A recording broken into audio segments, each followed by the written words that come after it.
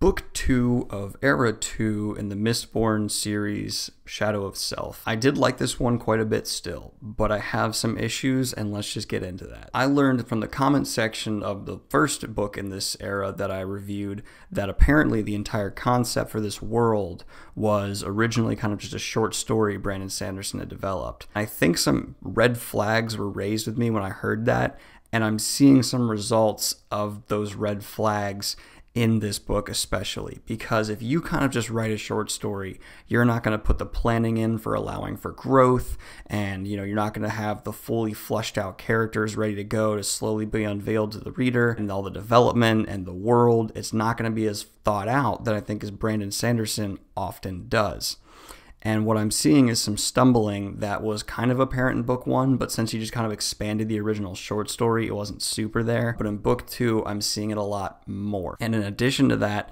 he's having to compensate for not giving female characters a lot of depth in the first one by flushing them out in the second one, which he did a very good job of. The female characters are really brought up to being a progressive level of development and given the time that they really need to be an interesting character. And that, that does help the book quite a bit. Character interaction across the board are much more interesting in Shadow of Self than they were in The Alloy of Law. But what that has taken away from, though, is time he could have used to develop Waxillium. And now Waxillium, our main guy, is pretty much the same character we're left with in Book 1. He does not develop much at all, period. And his entire emotional arc and journey in this book is pretty much just a train barreling down a track. Where it starts is obvious, and where it's going to end up is very obvious. And it just kind of barrels there. I feel no attachment to Waxillium whatsoever. He's interesting and he's just a fine kind of hurt, tragic past gunslinger still. And I was really hoping to see some more brought to him. And I'm hoping in book three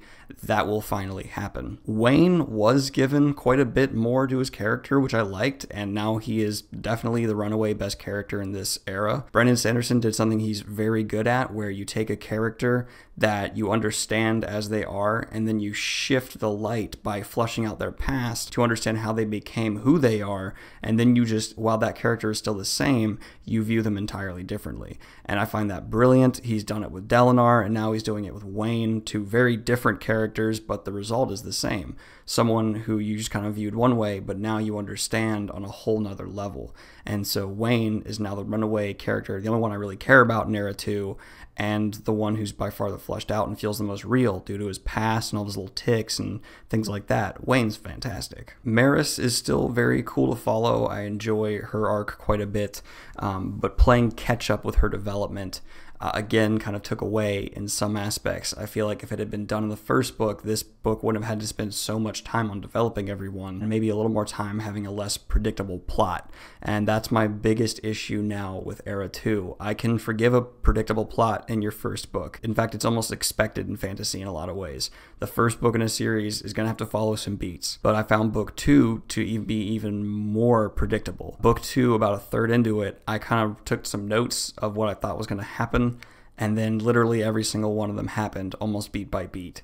And that was kind of unexcusable. Even the big twist at the end, which I'm not going to spoil, but the really tragic big twist, to me, I was like, yeah, I, I, could call that kind of from a long way away. As soon as they introduced that certain type of character, it was like, okay, connection made, which is just really disappointing. I mean, I can forgive it once, and I kind of can forgive it a second time, but if I see this again in book three, it's it's going to really start hindering my enjoyment of the continuation of Mistborn, which sucks because I really love Mistborn. It's very good, and the original trilogy has grown on me since I originally read them. Where I really want to commend Era 2, though, is the humor and the great ability to kind of evolve a world that's established. I know I harped on this in the last video a lot too, uh, but just again, it, this book is funny. I found myself laughing out loud at work while I was listening to the audiobook. I also just kind of found myself amazed at how much of a natural progression this felt from Era 1 in terms of, yeah, this is where this world would have grown to, especially with distrust of authority and things like that.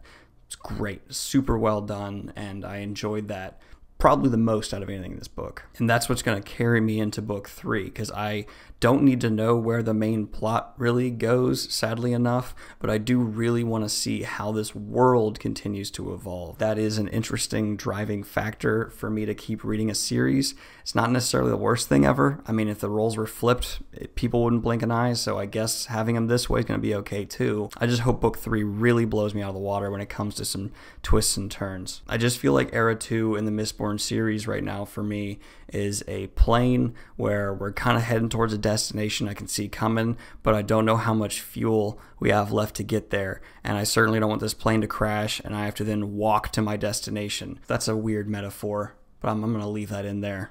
You guys just deal with that metaphor. I'm going to give Shadow of Self a shotgun blast to the face out of 10. It is certainly loud and entertaining in a way, but you know the second or third time it happens, it starts to get a little less, uh, little less entertaining. So uh, that's a horrible metaphor, but I'm going to keep it in there also. If you want to support the channel, I have a Patreon link down below. The names appearing right here are my donors so far of the $5 amount, and I hope you all have a great one. Like and subscribe, all that fun stuff. Peace.